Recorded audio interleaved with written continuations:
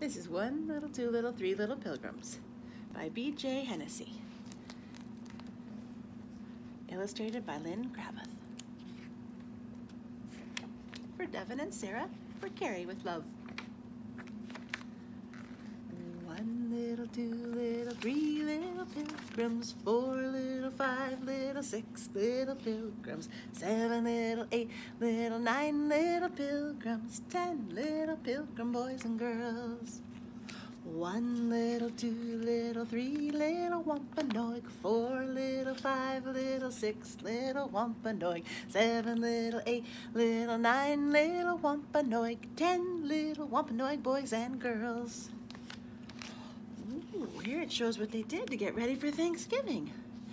Digging for clams, fishing for cod, hunting for ducks, rabbits and geese, planting crops of corn and beans. Everybody has a job to do. Digging for turnips, carrots and beets, gathering nuts, berries and squash, carrying baskets of barley and corn. Now it's time to celebrate. One big, two big, three big turkeys, four big, five big, six big turkeys, seven big, eight big, nine big turkeys, ten big turkeys for the feast.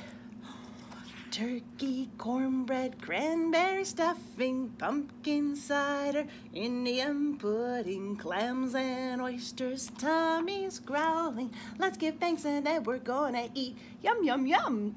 that is the whole story. One little, two little, three little pilgrims.